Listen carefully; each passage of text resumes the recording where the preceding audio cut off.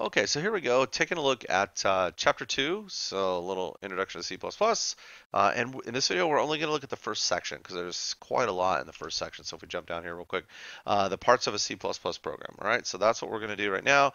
Um, and in fact, let's just go ahead and jump right into it, all right? So we're going to start out with this uh, block of code. So we have this little program in here. So here's a little sample program, and uh, and we'll talk about each one of these lines, uh, and then we'll look at live code in a second here. Uh, before kind of before we get started though, uh, you should have by now definitely watched the uh, first video on PythonTutor.com.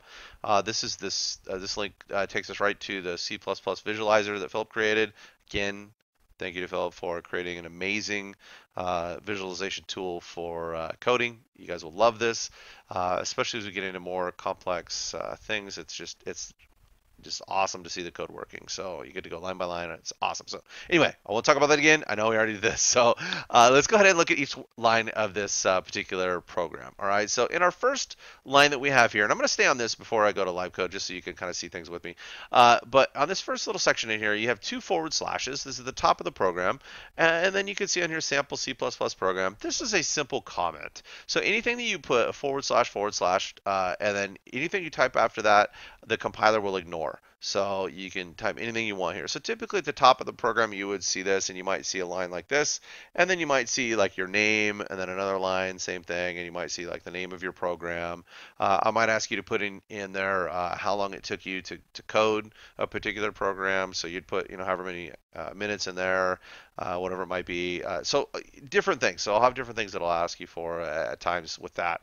For now, it's just a simple comment, and we're going to look. This is a multi-line comment where it goes one forward slash and then an asterisk, asterisk, I hate that word, so I'll say star most times.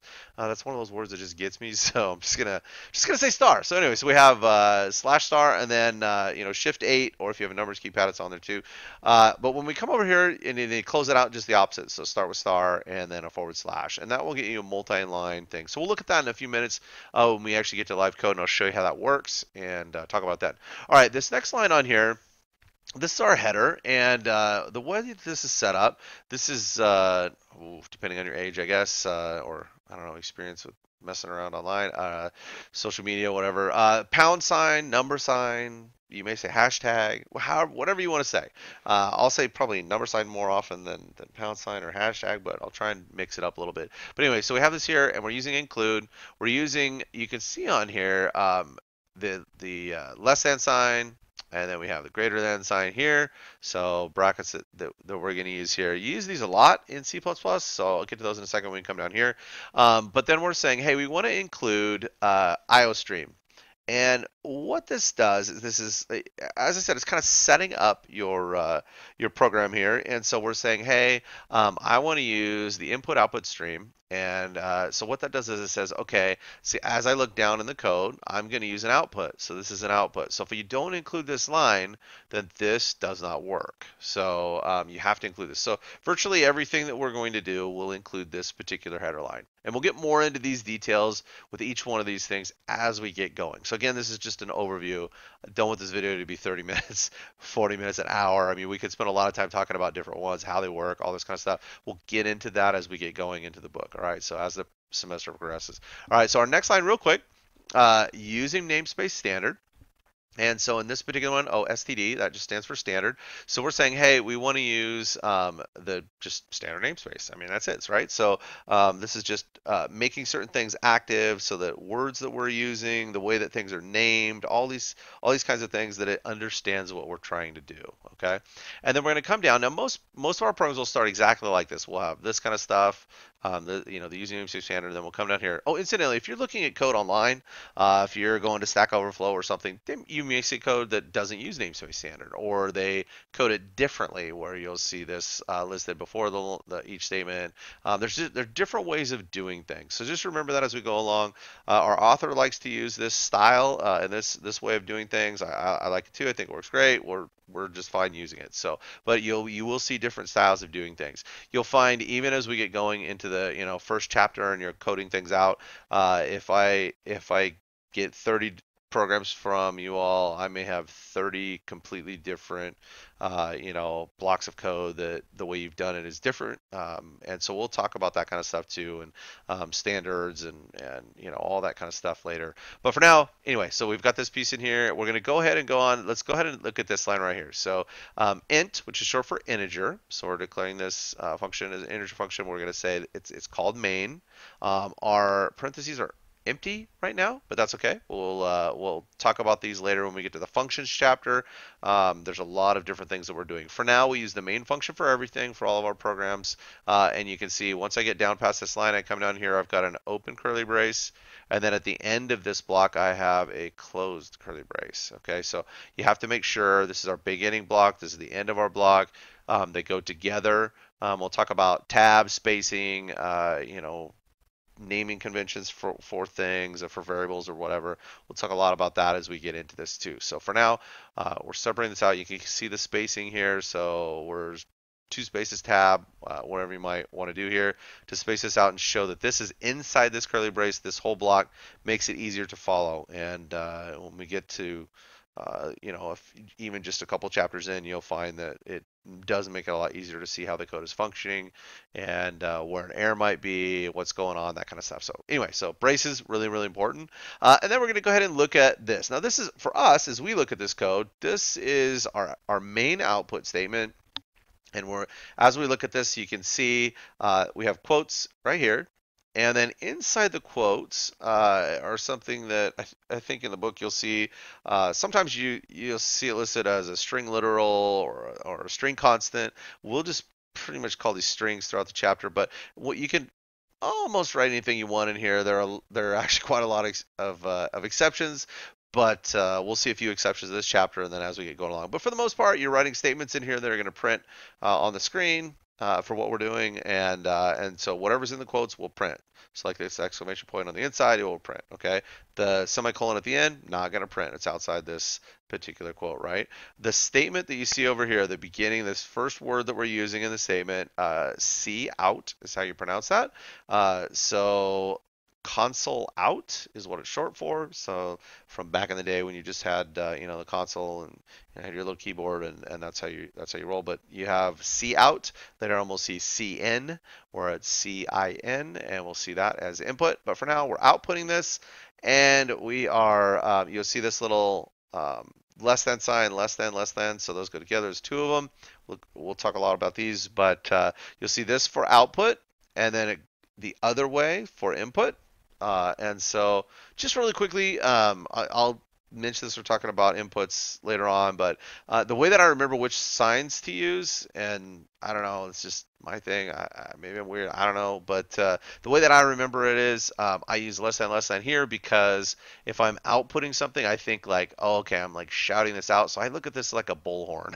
I don't know. It may be weird, but that's the way that I remember it. So output, boom, I'm like shouting this out, and uh, and then this is what I'm going to be shouting out. So I look at these as like little miniature bullhorns, and I don't know, it's just my thing. So uh, anyway, so there's that piece in there, and then we've got the semicolon at the end. The last piece that we're looking at in this is uh, the return zero. And this has to do with the function and our main function and the integer that we're looking at here and what we're returning. And we're saying hey we're returning we're actually returning a zero here meaning we've got nothing else. And that will be the end of the program. Okay. So again we get more into functions later on. For now i mean i hate to say it but you just do it this way just because uh, that's the way it's done. That's what you need to do, and uh, we'll get more into each one of these statements and how they work and how all this stuff works together as we get going throughout the semester. All right, so um, let's take a look just really quickly at the live code and how it works. I'm going to go ahead and click on the, the visualizer link. I highly encourage you to uh, open the PowerPoints and follow along as we're doing these because I do have active links in them. So uh, as we get to you know certain types of code and or you know certain statements and how things work. Uh, I try and include a lot of links so that you can have active code to play with, so that you don't have to type out every single little thing. Um, you'll do a lot of that. Trust me, you'll do your own your own coding, and we'll do a lot of that as well. Especially you know when we get to the assignments and those kinds of things. But uh, for now, as we're playing with things throughout the chapter, I like you to have a base that you can just click and play around with and change things and all that. So and we'll talk more about that as we do things. All right. So um, taking a look at this particular particular uh, program. So here we have our sample code. I wanted to do the comment piece real quick because I was telling you. Uh, so here we have slash slash. So you might have, you know, you might have the that piece in there. Maybe we go like, you know, I'm gonna put my name on here. Um, so I've so I've got my name loaded in here. Um, I might say this took me, I don't know, who knows? Maybe this took me 30 well, I mean, if we're being realistic, I guess this one will say this took us two minutes to do. Uh, so anyway, so you you have different things. You might throw a date on here, so date, you know, those kinds of things. So there's all those little pieces in there, right? Well, let's say you didn't want to put all this in here. You didn't want to do those every single time. Okay, so instead, what you can do is I could use a single forward slash and then the asterisk key, which I hate that word. I can never say it right. So um, I'll just say star probably most of the time. Notice how my code block just changed and all of it changed to the commenting color. All right. So in our visualizer here, uh, green means comment, at least this section here. And so we've got uh, all of a sudden now this is all a comment. So I said I want every line by using this little piece right here. I want every line after everything after this, all lines, everything to be a comment, and I want the compiler to ignore it. Well, that's great. I mean, I don't actually want the whole piece there. Um, but let's say I, I want, you know, I it thinks that's what I want. All right, so I'm going to come down here and end this. This kind of bothers me. I don't know. I'm going to take this down to the next line because it's kind of annoying me. Oops. And then I'm going to go ahead and come over here, and now I'm going to close this out. So now you do the reverse. You say star first, then the slash, and you notice how things sort of go back to normal down here. So now we've got our uh, reserve words, we've got all this stuff. It, it, it looks different. If you're if you're typing in a text editor, um, just I mean strict I don't know, a text editor that doesn't do uh, color coding that may not show up, but this is this is how this will work. So now all of these lines are commented out. So I can type anything I want. If I include something else in here, it'll just keep commenting out all the way down because it's inside this piece.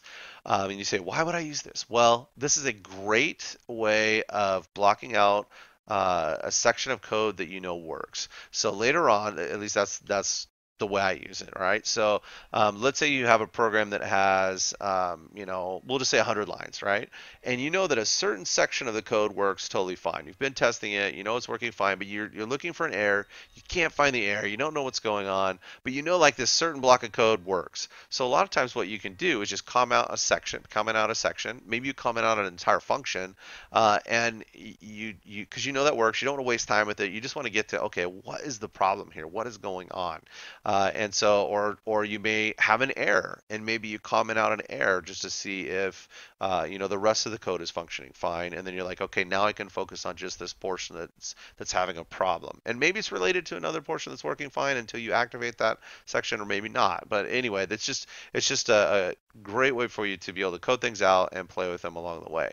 All right, so um, we'll, we'll use that quite a bit. All right. So I would say actually at the top of my programs though, I, I. I, seem to just do this most of the time, just at the top.